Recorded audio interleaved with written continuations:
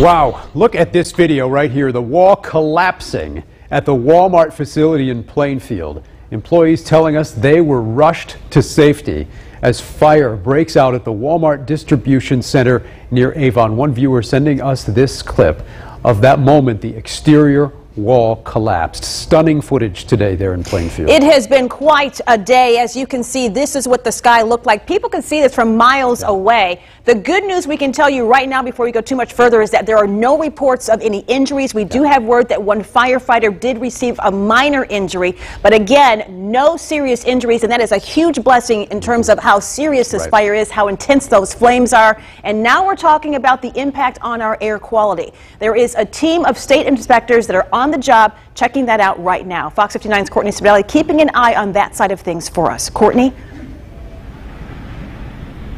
Yeah, good evening, you guys. We have been monitoring this throughout the afternoon. Every time we've spoken with you, things look a little bit different here. I'll tell you right now, the smoke continues billowing out of that distribution center behind us. A little bit less dark and thick as it was earlier as crews continue to put water on it. But again, they are working hard to get that under control. We know that IDEM is also on scene now to monitor the air quality as that smoke plume is being drifted in the wind and traveling for a significant distance as we've been hearing from our viewers.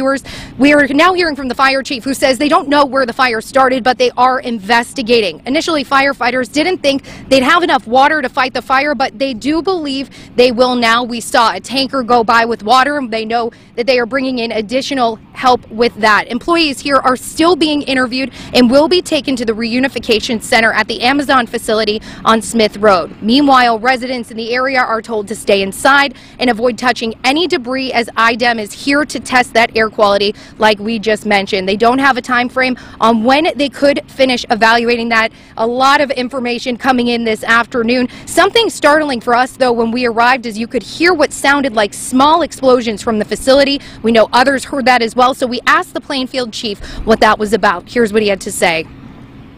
It's a Walmart distribution center. So the best I can tell you is if you can think of it, it is probably there. A lot of the noises and stuff you hear, yes, they're described as explosion, but it's the semi truck tires and stuff that are becoming overheated and, and rupturing.